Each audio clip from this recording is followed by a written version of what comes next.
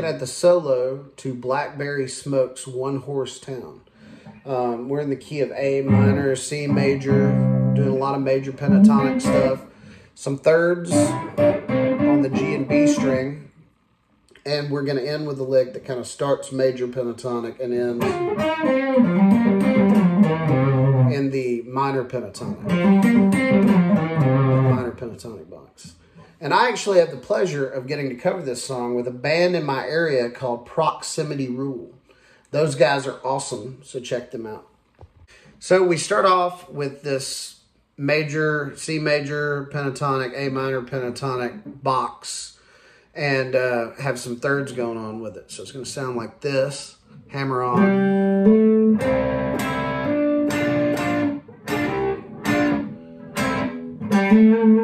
So that's the first phrase, and we have these thirds, five and five on the G and B, seven and six on the G and B, nine and eight on the G and B, and we're just moving it around.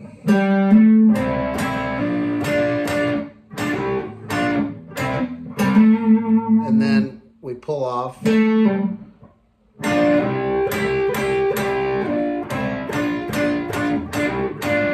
it's all those thirds.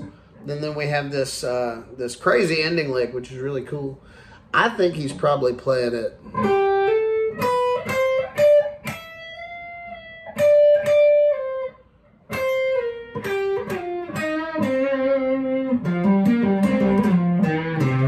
And I use hybrid picking at the end, but he may just be picking it. So we're sliding or hammering on from the 8th to the 10th fret on the B string. 7 on the high E. 8, 10, 12, half step bend. So slide back, slide back, third finger. Then that last lick.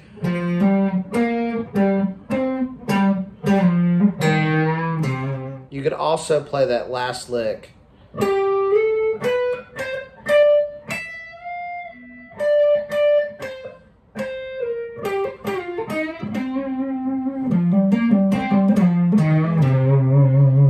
And that's just the same thing up a string set. So 12 to 14 on the G. 12, 13, 15, 12 on the high E, half step bend. 15, 15, 13, then slide back. Same shift.